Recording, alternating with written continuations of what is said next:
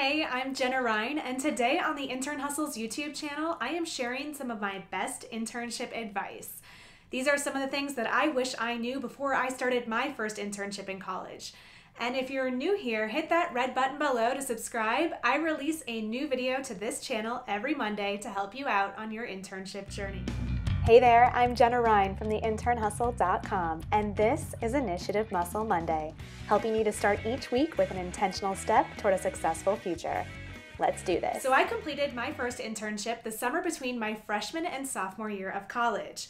And if you've been following me for a while, you know I recommend gathering as much experience as you can as early as you can. But because I started as early as I did, there were some things that I didn't prepare for as well as I could have before my first internship.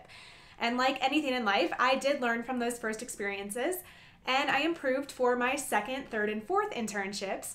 But I want to help you just hit your first internship out of the park. So, here is some of my best internship advice from me to you Eight things that I wish I knew before my first internship. Number one, check eligibility to earn school credit for your internship.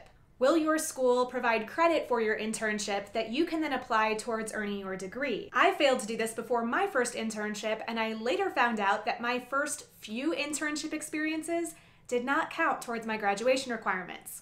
So, if you're hoping to earn credits for your internship, make sure that you understand the specific requirements that your school and more importantly, your major have set.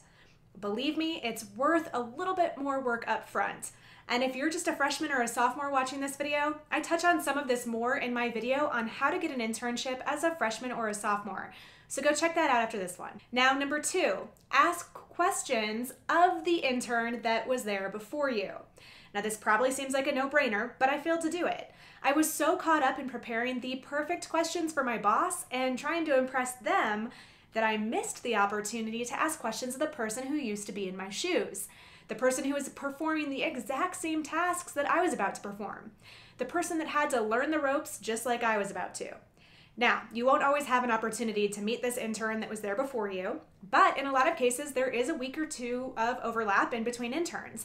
And so, if you're so lucky to overlap with the intern before you, I am telling you, ask them questions. Learn as much as you can from their experience before you kick off your own. Number three, keep a daily internship journal. Record your day in the life as an intern. What did you do and what did you learn? What mistakes did you make? Did you meet anyone new and noteworthy? Did you make progress toward a specific goal? Write it all down. I promise you won't be sorry that you did. This is something that I did really well for internships two through four, but I didn't do it for my first internship and I regret it. Keeping a daily internship journal or a log is a great way to really absorb everything that you're learning on a daily basis. Because during an internship, there's a lot of new stuff being thrown your way each and every day. So, the ability to go back and reflect on everything that you've learned and captured in this journal, it's so valuable. Plus, it's a great way to remember all of the different people that you've met along the way because you never know when one of those people may be the connection that you need into a future internship or job opportunity. Number four, make time for working out. Now, this may not seem like it fits into this video of internship advice, but I'm telling you that it does. The older you get, the more important it is that you're bringing energy to each and every day. It's going to help with your productivity and your focus. And the best way to bring your energy is by moving your body on a daily basis. When you're an intern, make it super caught up in the internship and think that you don't have time to work out. Then all of a sudden, eight to 10 weeks have gone by and you've neglected working out altogether. It happens, believe me. My internship was at a training facility. I trained athletes on a daily basis, and I still failed to get my workouts in. Because for me, it was the last thing I wanted to do after spending the entire day in a gym. But I now know how important it is to generate that energy, so start building the habit now and keep it as a priority throughout your internship. Number five, set goals and take on specific projects.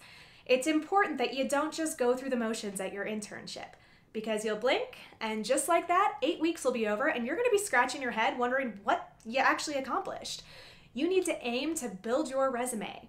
What types of projects can you take on or skills do you need to develop in order to better your resume for the future? At my first internship, I did have one tangible thing that came from it. a certification with USA Weightlifting that I completed. But I could have developed so much more. I didn't take the time to set proper goals and projects with my boss up front. If you're not sure where to start and you want some ideas on goals that you can set up front, check out my video on the internship goals series on how to succeed at your internship. And number six, participate in company events. Oftentimes, it's the events outside of your normal working hours where you're going to make the strongest connections with your colleagues.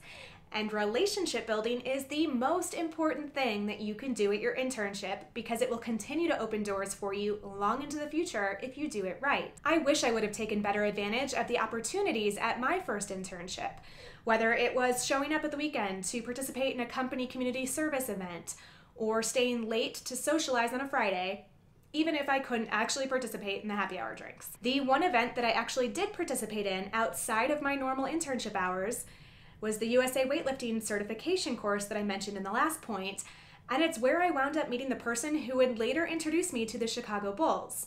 And, well, that's where my internship journey really started to take off and get interesting. Number seven, podcasts. Now, podcasts weren't really a thing when I was an intern, but audiobooks definitely were.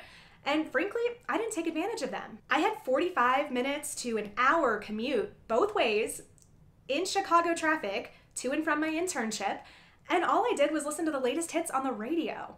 Now, you may be wondering what any of this has to do with an internship and why it's a part of my internship advice, but if you know me, then you know I'm a big believer in educating yourself, developing yourself outside of your college education, especially if you have a specific career path in mind or goals to break into a specific industry.